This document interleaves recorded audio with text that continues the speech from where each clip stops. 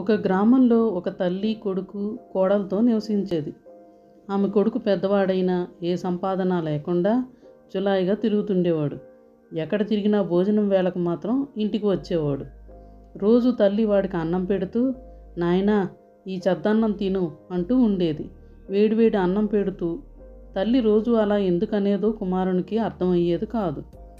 ఒకరోజు తల్లి ఏదో పని మీద బయటికి వెడుతూ కోడలికి వంట చేయమని చెప్పింది.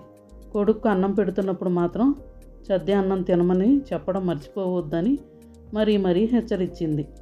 కోడలు తన భర్తకు అన్నం వడ్డించింది. అతను తినబోయే ముందు చద్దన్నం తినండి అంది. దానితో అతనికి చాలా కోపం వచ్చింది. అన్నం కూరలు అన్నీ వేడిగానే ఉన్నాయి కదా మా అమ్మలాగే నువ్వు కూడా చద్దన్నం తినమంటావేంటి? అని భార్యను కోపగించుకున్నాడు. ఆ అమ్మాయి బిక్కమొహం వేసుకొని అత్తగారు నన్ను తప్పకుండా ఇలా అనమన్నారు అని సమాధానం ఇచ్చింది. అతడు కోపంతో అన్నం తిననే తినలేదు. తల్లి ఇంటికి తిరిగి వచ్చి నాయన అన్నం తిన్నావా? అని కుమారుణ్ణి ఆపేక్షగా అడిగింది.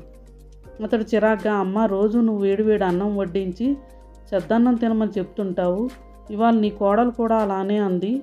వేడివేడి అన్నం కూరలు చద్దివి ఎలా అవుతాయి? అని అన్నాడు. తల్లి చద్దన్నం అంటే ఏంటి? అని ప్రశ్నించింది. ఉదయం వండిన అన్నం రాత్రికి చల్లబడుతుంది. ఈరోజు వండిన అన్నం రేపటికి చద్దన్నం అవుతుంది. ఇప్పుడే వండినది వేడివేడి అన్నం అవుతుంది అని సమాధానం ఇచ్చాడు.